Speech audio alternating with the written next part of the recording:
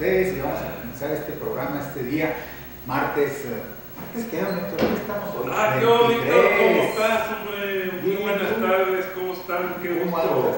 saludarlos. No le hagan mucho caso a Víctor, ya ven cómo es, que uno no anda acá ocupado, pero de cualquier manera pendiente a lo que ustedes... ocupado. Me acordé como aquella vez que se atravesó, se atravesó eh, Norma Ponce por aquí por entre las cámaras y luego le dijimos, ¿qué pasó Norma? "Eh, Fue un error técnico, dijo. bueno, de Un error técnico. Lo que pasa es que andamos viendo aquí las notas porque pues hay algunas notas, Víctor. ¿no? Sí, ahorita un ratito más va a estar por aquí eh, don Eloy García Tarín, candidato a diputado por el distrito número 16. Dicen que ese distrito lo gana el PRI sin candidato, ¿será cierto? Vamos a ver qué nos dice Eloy García Tarín de, de esta aseveración que anda por ahí corriendo en los círculos de la sociedad. No, pues quién sabe, hay que, hay que ver, todo se tiene que pelear, todo se tiene que hacer trabajo. ¿Sí, No hay nada ganado ni perdido, todo de, de repente nosotros los humanos somos seres cambiables, ¿verdad? De repente decimos, bueno, estuvimos gobernados por, por el tal partido, pero ya no nos pareció, hay que cambiar y ojalá eso. Sí, claro que sí, la alternancia es efectiva y es necesaria además. Entonces que nadie se confíe, que nadie diga, no, yo ya no tengo ganado, yo ya soy Juan Camané. Y aquí nomás mi chicharrón me suena, porque ves qué decepciones ha habido. Híjole, De repente se han visto, se han visto mermadas las ambiciones de algunos políticos cuando han tenido que retirarse con la cola entre las patas. Así es, Fox, Calderón y otros más. Bueno, ellos llegaron, pero hicieron mal su chamba, porque eso es cierto. Claro Lo hicieron sí. mal, no lo hicieron bien, y ese es el problema de ellos. Pero hay algunos que, que ya la tenían tan segura que iban a, a ocupar algún, algún puesto de, de, ¿cómo les llaman? De, cuando votan por ellos, no es que te De representación o algún puesto. Un puesto. Un puesto. Un puesto. En el servicio. Un puesto, de- pero que votan por ellos. Sí, que son este, ganados por mayoría, pues, no es una representación proporcional, sino es un voto de mayoría. Son elegidos mayoritariamente por, por la gente. Así es. Oye, este, pero eso de elegidos mayoritariamente por la gente estará en, en- en función de que de los apoyos de Ceresol. Oye, ¿cómo le han hecho de todo? Oye, ¿en qué sexenio? No, no la, la docena trágica, pero ¿en qué sexenio no se han utilizado los programas para tratar de llevar agua a su molino, por favor? De todo. Pero ¿en Y a todos niveles, en el federal, en el estatal, en el municipal. en Oye, todos pero ¿en cuál sexenio nos han agarrado con las manos en la masa? Bueno, pues en casi todo, nomás que casi nadie hace, nadie hace. Pero ahorita mira, 13 horas de grabación en audio y video donde se descaradamente se ve cómo se manipulan los recursos de Ceresol para fines político-partidistas. Sí. Pues qué bueno que ahora los agarraron, ¿no? Ojalá y también los Bueno, esto sienta en un precedente de lo que no se debe de hacer. ¿no? Así es. Definitivamente, pero si, si alguien sale beneficiado con estos, con estos, con estos programas, bueno, pues que sean beneficiados al final del día. eh, la gente va a votar por, No. lo que, por lo quieran. ¿no? Si yo estoy de acuerdo contigo. Lo que sí debemos de evitar todos es que los políticos de cualquier partido que sea utilicen estos espacios que son para ayudar a la gente, que son parte del gobierno, como lo, especifica la propia eh, ley, eh, programas de apoyo para la gente más necesitada y más humilde, y que no sean desviados para fines partidistas por ningún partido político. Lo que no sean utilizados, o sea, si se los entregan a la gente, pues no están desviados, se los están entregando a la gente necesitada. No, pero, oye, pero que no lleven agua a su molino con esto, Pues que es que no se sea para beneficio precisamente de, lo, de los candidatos. Pues que es, que es la bronca, o sea, si, si a ti te dice un, un político, don Héctor, te voy a dar eh, 50 despensas, pero ya sabes, utilízalas para beneficio de nuestro partido para ¿Cómo fomentar. eso existe en México, Víctor? Oye, no, sí, de veras. Hijo, ¿cómo, hombre? ¿cómo no? Y luego tú vas con la gente y le dices, mire señora, pues yo sé que tiene usted mucha hambre si le veo la carita y mire, con esos tres chipayates que trae. Mire, le voy a traer tres despensitas, pero présteme su credencial. elector, para nada más con un controlito. Y ya sabe, el día de la elección hay que ir a votar por el partido Pero si, le quitan, pero si le quitan la credencial, ¿cómo era votar? No, no, pero no se le quitan. o sea, Ah, no se la Le sacan una copia fotostática su credencial, que es que para Sí. comprobar los Ya gastos. las copias fotostáticas no existen. Ah, nomás. bueno. Ay, era un hecho. Bueno, una La, copia, una la copia simple. ya, una copia. Una copia simple de su credencial de elector, por ambos lados. Sí, Por ambos lados. Tiene que ir su firma también.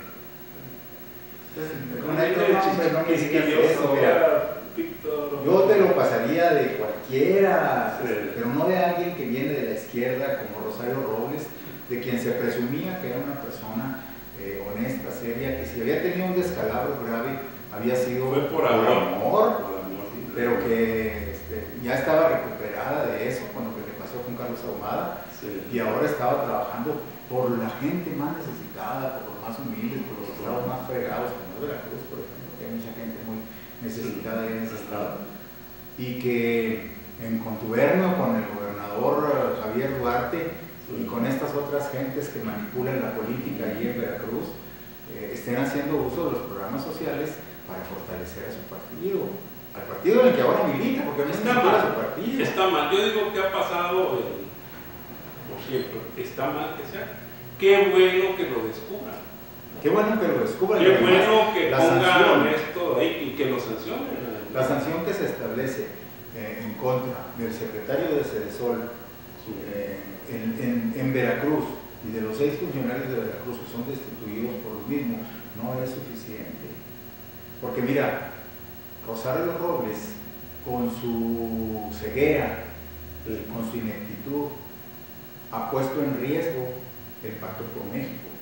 El Pacto por, México es el elemento que le da o que le ha dado más gobernabilidad a Enrique Peña Nieto. No, estamos de acuerdo con eso. Sin embargo, bueno. Rosario puso en riesgo esto, Sí. solo desde el hecho de que ahorita el PAN, a través de su presidente Madero, le dijo, no nos retiramos del pacto, pero ya no vamos a asistir a ningún evento político de la mesa de- que corresponde al, al pacto político. Y Enrique Peña Nieto le responde y le dice, ya no habrá eventos políticos hasta tanto no se solucionen las cosas. Es. Entonces, le están dando el traste al pacto por México. que fue un ¿Quién es la responsable? Bueno, La responsable de Rosario Robles porque es la que tenía que estar pendiente de su delegado. es la que debía estar pendiente y el hilo pues se rompió por lo más delgado, ¿verdad? Utilizaron estos programas para beneficiar eh, a los candidatos en ese estado. Bueno, debe, debe haber sanciones. Claro. Con eso estamos totalmente de acuerdo de que debe haber sanciones. Sin embargo, bueno, pues el pacto por México debe seguir porque fue algo que, que se planeó tratando de beneficiar al país, no Eso, nada más al Antonio, presidente de la pero- República. El pacto por México debe seguir, pero ¿en qué condiciones? ¿En qué condiciones debe seguir? O sea, ¿qué caso tiene que yo me siente a una mesa a platicar, a tratar de llegar a acuerdos con alguien que sé que me está mintiendo, que me está dando puñaladas? ¿Qué caso tiene? Y eso no ha existido anteriormente. Pues, siempre ha existido, ¿no? Siempre ha existido. pero nunca ha sido evidente. Y ahora sí es evidente. Bueno, ahora porque existe precisamente este, este nuevo formato que se llama el Pacto por México y, y de acuerdo con esto pues, se deben de comprometer los tres principales partidos para que no existan este tipo de anomalías, sobre todo en este tiempo de elecciones. Así es, pero se vámonos. presentó, se presentó, bueno, pues sí. Pero, pero vámonos hasta el fondo, o sea, ¿qué representa el pacto por México? No, ¿Qué tan representa- importante es? ¿Qué tan importante ha sido en estos meses de, de gobierno? ¿verdad? Se han podido sacar algunas reformas que no se pudieron sacar desde hace muchos años ¿verdad?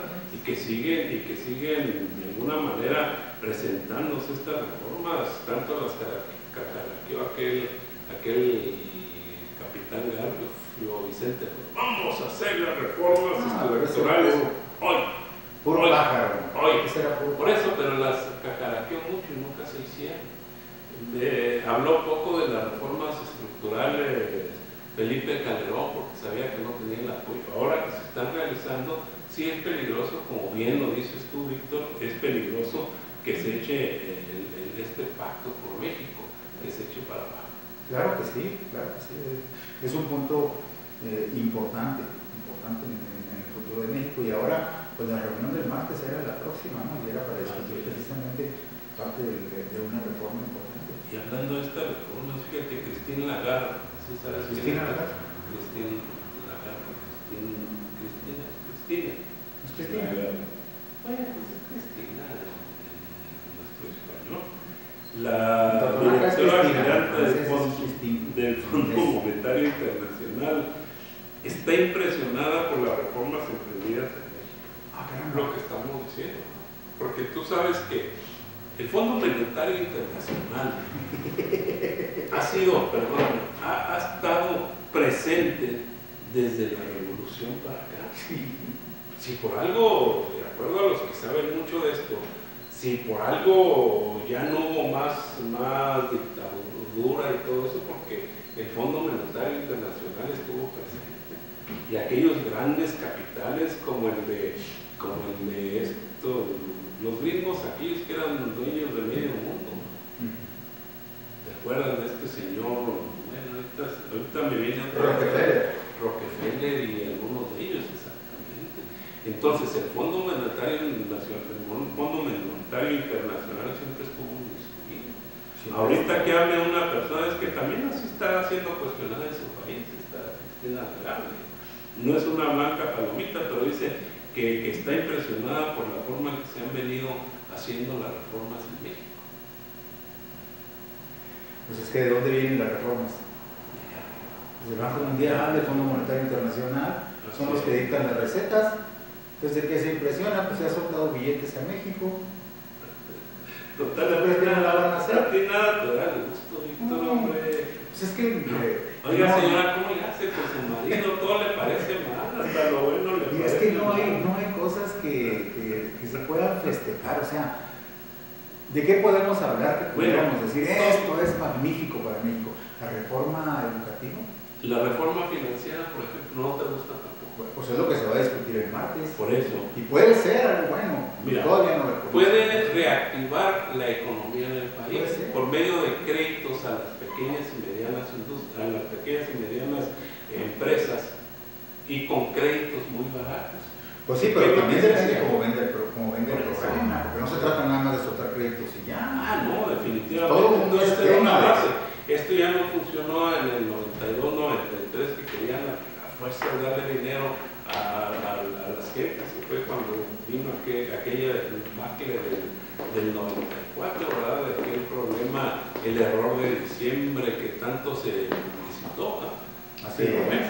Pero, pues de cualquier manera, algo se está haciendo y no podemos seguir de la misma forma que tenemos que.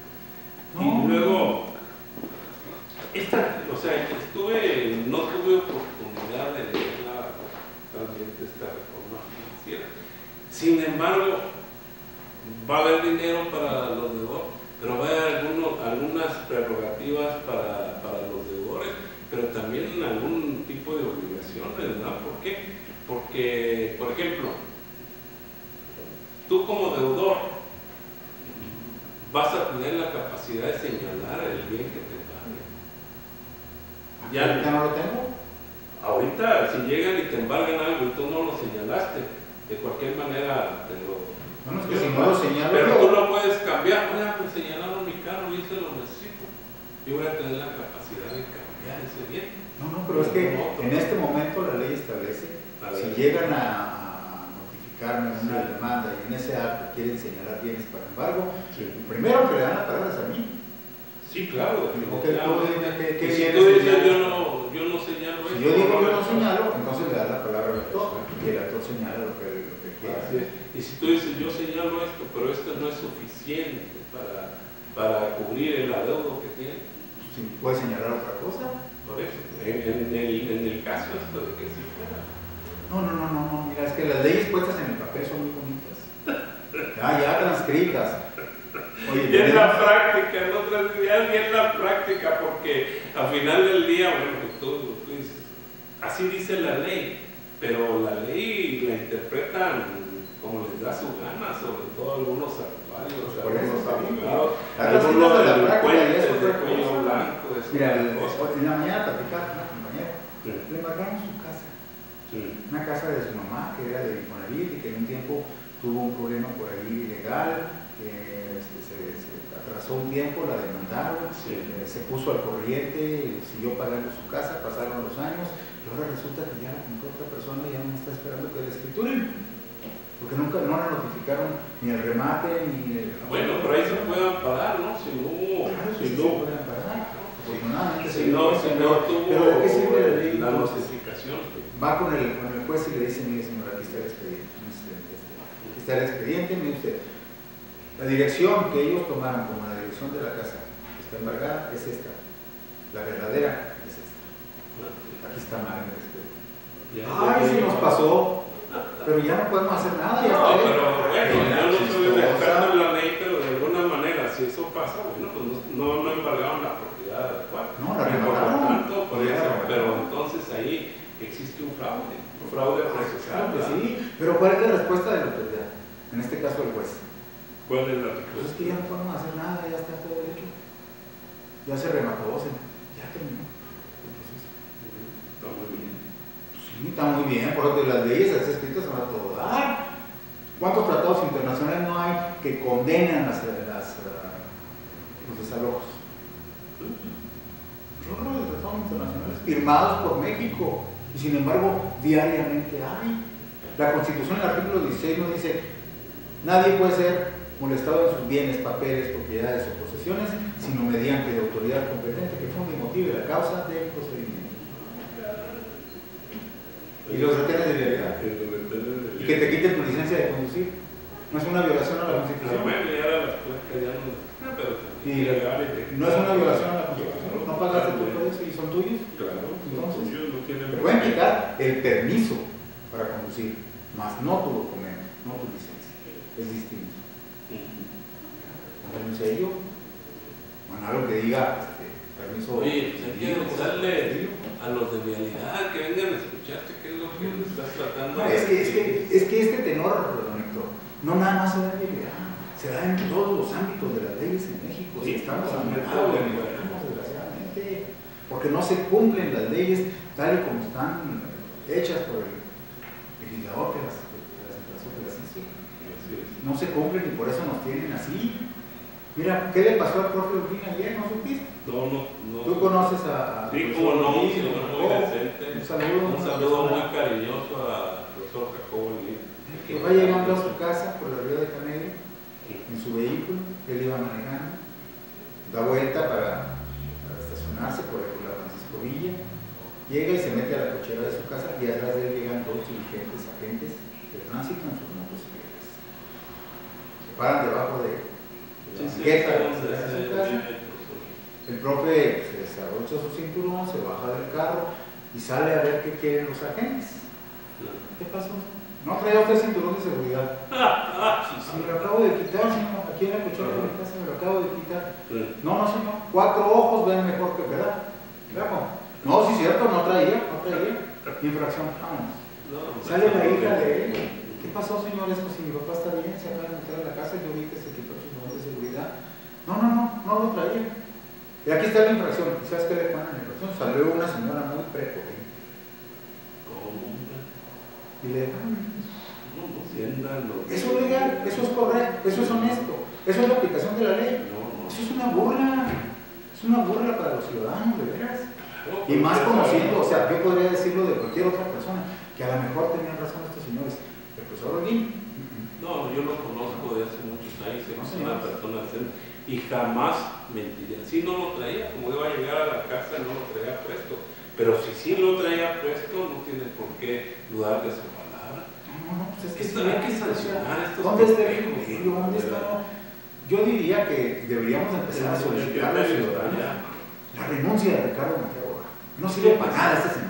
Sí, como no, para recaudar fondos. No, pero eso no nos interesa, no los Eso, pero al, al señor gobernador dile, señor gobernador, ese no sirve para nada más que para Hay que decírselo, hay que decírselo. Pues hay que el señor Ricardo Mejía Borja no sirve como director de vialidad y tránsito. Llévese la recaudación. Ahí no podrá servir. Que vaya a recaudar a otro lado, pero aquí no. Porque aquí la ciudadanía está muy molesta con los agentes de vialidad y los agentes de vialidad se sienten tan protegidos que son prepotentes, groseros, abusones Eso es lo que tienen todos los agentes de vialidad. De, vez en cuando se encuentran uno, dos o tres que son gentes y que pues, no están de acuerdo con las políticas de Mejía Borca y que de alguna manera quieren reivindicar el trabajo de vialidad. Sin embargo, la mayoría, bueno, no está de acuerdo. Así es. así es. Vamos a ver un, un mensaje de, de, de Marco Antonio y regresamos. Me parece perfecto.